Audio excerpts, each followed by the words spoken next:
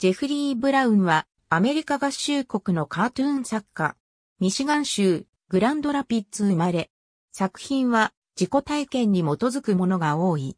子供の頃はグランドラピッツで過ごし、2000年25歳でシカゴ美術館附属美術大学の芸術修士を目指してシカゴに移住。しかし卒業する頃には絵画を断念し、漫画の制作に専念する。彼の最初の作品は自費出版の Clumsy。その作風は、スケッチブックにわざと下手に絵を描く手法を使った、いわゆるヘタウマ。2013年現在、妻と二人の子供とシカゴに住む。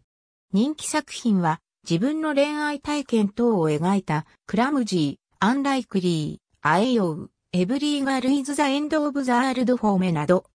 コミカルな作品も多く、すぐ感情的になる、スーパーヒーローが主役のビッグヘッド1から4コマ漫画の I am going to be small 猫が主役のキャットゲッティングアウトオブ A バックインクレディブルチェンジボッツなどがある。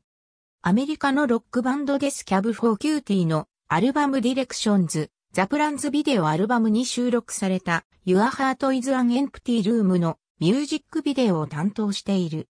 2003年4月18日、ナショナルパブリックラジオのラジオ番組ディスアメリカン、ライフにゲスト出演している。2010年、ドキュメンタリー映画ラビットフィーバーのポスターのイラストを担当している。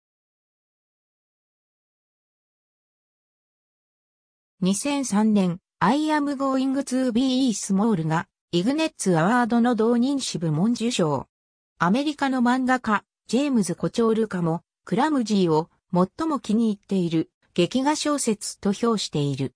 2012年の映画セーブ・ザ・デートの原作の一部を担当した。ありがとうございます。